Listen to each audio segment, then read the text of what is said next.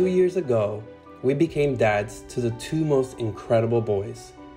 Fatherhood put us on an unknown path, but one that represented a dream we once had coming to fruition. Our successful journey meant you can do it too.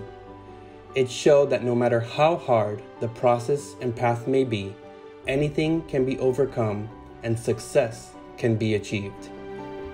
You got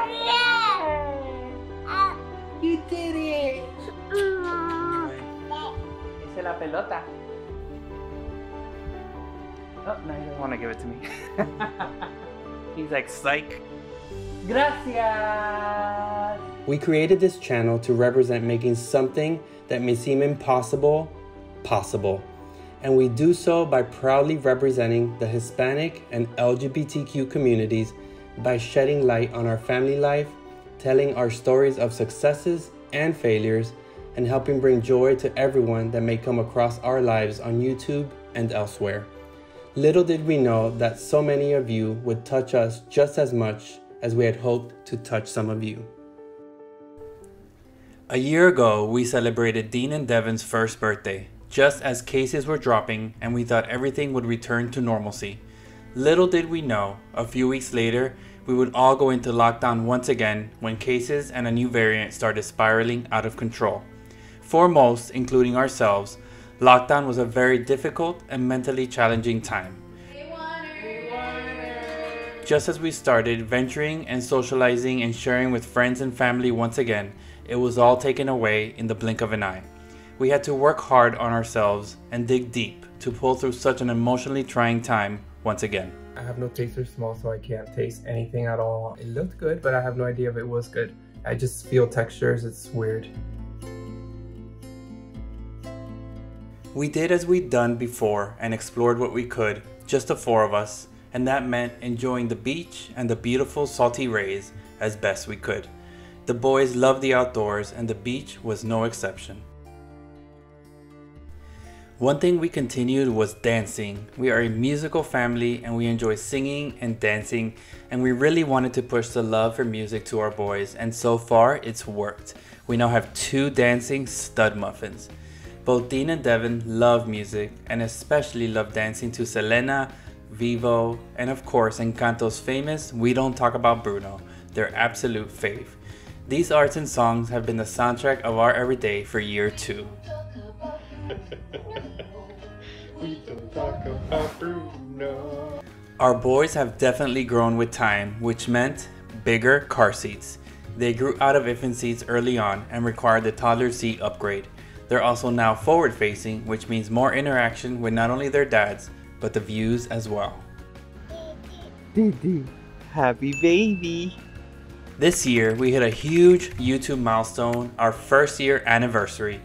This channel has truly been a labor of love for us. Although very labor intensive, we do it with so much love and passion, and at a minimum, it has brought us together with many more LGBTQ families, and we made incredible friends along the way.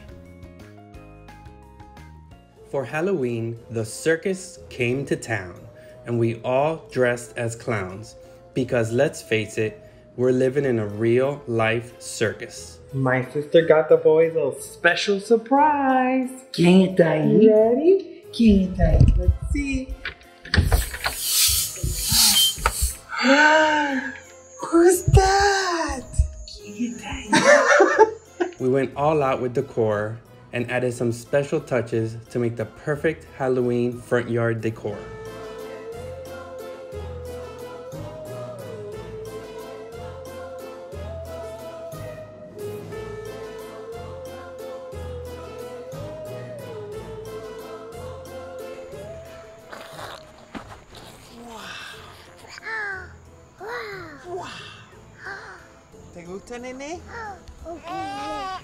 Visited a pumpkin patch where the boys loved dunking their fists and their faces in the corn pit.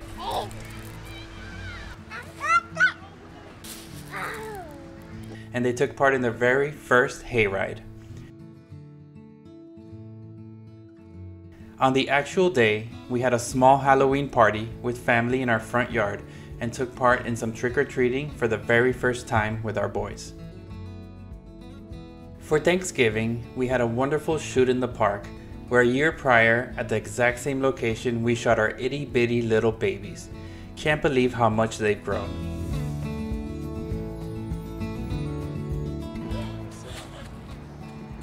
¿Te gusta, nene? Gracias. Gracias. Uh-huh. ¿Tú lo quieres?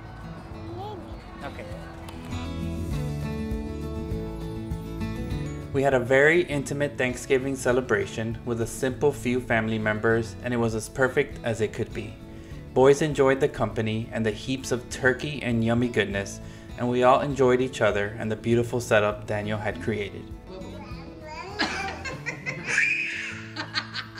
The boys enjoyed some exploratory fun at the Frost Museum with their buddy Jacob. They were definitely on sensory overload, seeing new things for the very first time. It was a great experience for them, and we definitely like to push their boundaries and have them see, smell, and touch as much as they can during this very critical growth stage. Before we knew it, Christmas was upon us, which meant time to decorate, and we definitely pushed the limits this year, incorporating some toddler hacks along the way. We had to toddler proof our tree as our boys were now grabbing everything they could wherever they went. So we propped it up with pallets, gift wrapped the base, and it turned out gorgeous.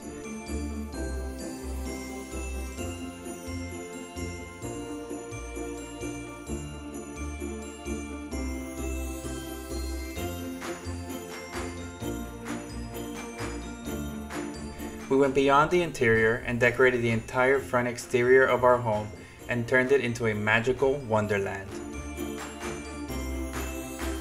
Boys visited Santa for the very first time, but they didn't seem impressed.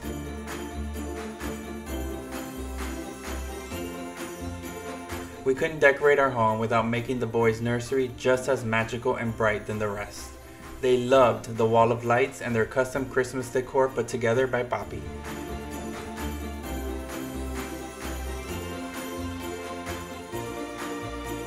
You guys like it? I like it. I want that in my room. Qué lindo. Wow. Wow. On Christmas, to continue the car gifting tradition, we upgraded the boys' vehicles to vintage convertibles, which they could not get enough of. Dean, our car aficionado, always wants to ride his car, so we couldn't have given a better gift.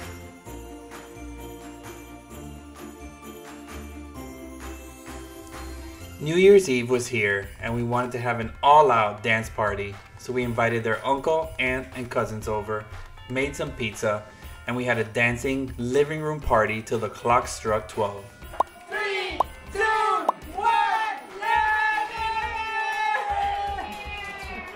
After scarfing down 12 grapes and some champagne, it was time for our yearly Cuban superstitions to make sure we all had a successful year full of travel and free of negative energy. Yeah. How did that feel?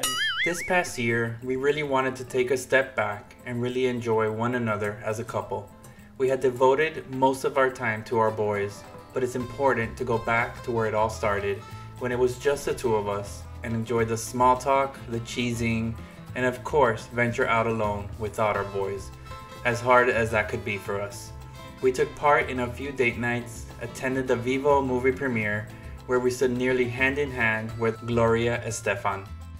I am Gloria Estefan, aka Marta Sandoval in the movie. After many delays, we were finally able to baptize our boys. We initially wanted them baptized as newborns, but couldn't make it happen due to recurring COVID waves and for the safety of everyone involved. We decided to incorporate our Cuban background and heritage into every piece of their baptism, which included traditional Cuban food, family heirlooms and photos, Latin music, tropical decor, and tons of coconuts, which required a hunt around Miami. For those that watched the full baptism video, the boys thoroughly enjoyed the coconuts and played with them throughout the entire ceremony. Weather was colder than normal, which meant we needed to add a tent to our backyard to keep everyone comfortable.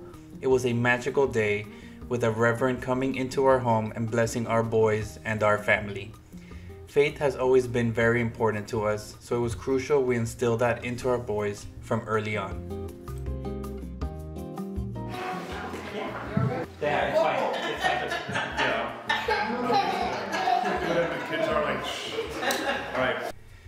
After the baptism and a radical drop in COVID cases, we finally were able to venture out beyond secluded parks and made our very first trek to Disney World with our boys. We both remembered Disney as being the most magical place on earth, and we looked forward to the day we would one day bring our children. So it was truly a dream come true for us. It was everything we remembered and even more enjoyable watching our boys smile and laugh, especially on their favorite ride, It's a Small World. They lit up with smiles from ear to ear and truly enjoyed the magic in all its glory. Wow! Wow! Wow! Wow!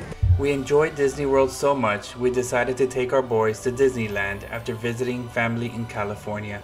The boys have many cousins, uncles, and aunts, and of course, Daniel's grandmother Abu, who is now living with them.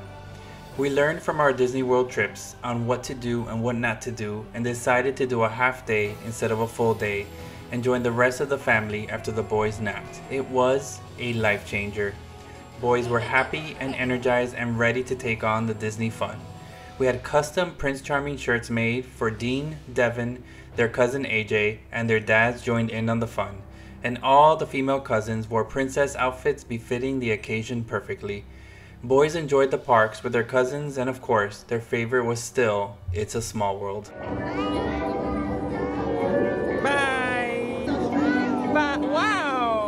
This year, for the Easter holiday, we decided to spend it together with the G family over in California. They are Daniel's sister, nieces and nephews, and of course, his grandmother Abu.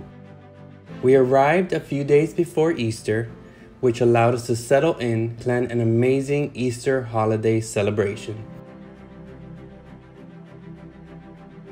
On the day of, everything was beautifully decorated in Easter decor, including backdrops, balloons, and a ton of greenery filled centerpieces, which touched all the five senses and made the setting incredibly special for everyone involved.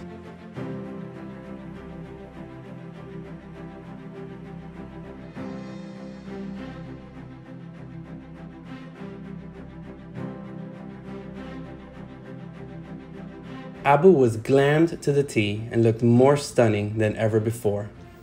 Although her memory has faded in her now 93 years because of Alzheimer's, her beautiful spirit lives on, and the memories shared live within those she's touched throughout her life.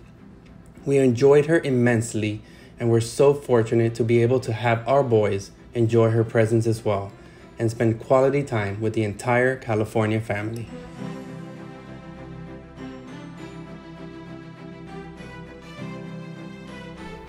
While in California, we also visited San Diego's Safari Park, where the boys and their cousins enjoyed learning about animals from all over the world and even rode a safari ride which ventured into the African savannah. High five. High five. As beautiful as life may be with our boys, it's not something that is easy or always fun and games by any means. Case in point, our Pooptastrophes vlog showcased the not so beautiful pleasantries of fatherhood. Devin covered in poo from head to toe after a nap. It's occurred more than once and more than we can even count by this point, but it comes with the territory as a parent, and I'm sure many of you can relate as well. Time definitely flies, and it was once again time to celebrate our wedding and first date anniversary. This year was our fourth wedding and seventh from our very first date. We went right back to where it all started on our very first date, except this time we had our boys in tow to celebrate with us. This is the table. Yard House was the destination, and we were able to sit in the exact same seat we did on our very first date, a total full circle moment for us. The fair comes around our area every year, and we can recall very vivid moments of fun with our family and friends.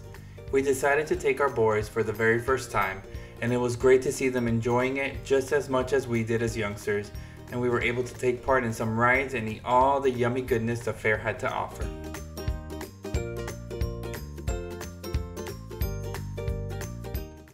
For their second birthday this year, we decided to revisit California and spend it with the G family once again. Because their birthday is so close to the 4th of July, we went with a 4th of July themed pool party, which included an inflatable water slide, bounce house, all American barbecue, games, Go! You gotta really go at it! You gotta really go! You gotta, you can't touch it! You can't touch it, AJ! Hey, you can't touch it! and a ton of extra goodies, which ended with sparklers and s'mores by the outdoor fireplace. It was an unforgettable event, and everyone had a great time celebrating our boys. We were also able to get some more family together we hadn't seen in some time, so it doubled as a family reunion of sorts. Happy birthday, dear Daddy. Happy birthday to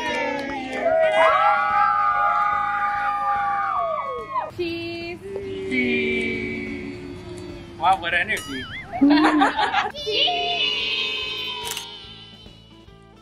Year two was one for the books, and it sure was a whirlwind of fun and adventure as we left the confines of isolation and explored as much as we could.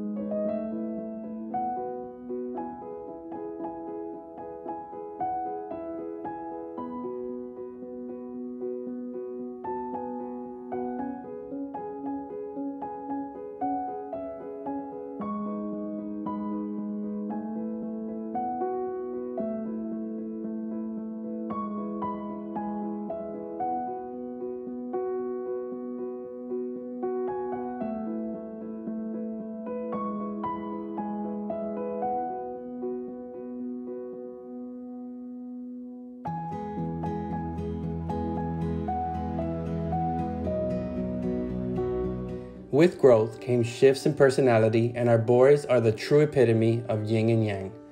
Devin, may your shy and tender soul continue to explore and love all the blessings bestowed upon you.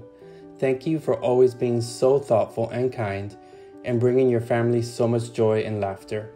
May you always be so obedient and heartwarming in all the facets of your life. Dean, our sweet and spirited, mischievous lover of all. May your clever wit never subside and take you on all the explorations your heart desires.